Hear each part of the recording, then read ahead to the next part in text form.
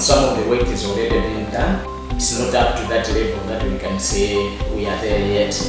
I think we, we, need to do more. I feel like we can do more. My name is Michael Mperembe. I'm coming from Malawi. Uh, I work for Malawi Human Rights Commission. I made it an ambition or a dream that I should make it to university, I study, do my studies, and then work for this institution.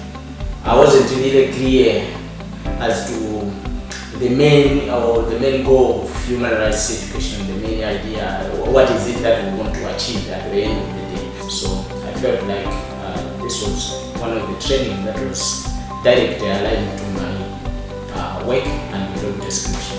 I'm looking forward to ensure that whatever I learn here, I go back home and uh, try to apply it. I'm in the right place. Also chose the right career.